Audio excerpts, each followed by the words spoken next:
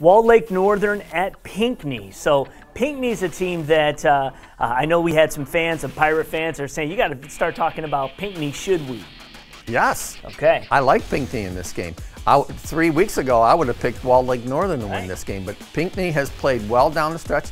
And that west side division of the KLA has really been tough. Brighton, Howell, yeah. Grand Blanc, all those teams are in the playoffs, so they've gotten a lot of good experience playing those teams. And Pinckney's got them at home. Uh, I like Pinckney in this game, and, and believe me, I don't even know. I haven't checked. I don't even know if Pinckney's ever won a playoff game, but I'm taking them here. You know what?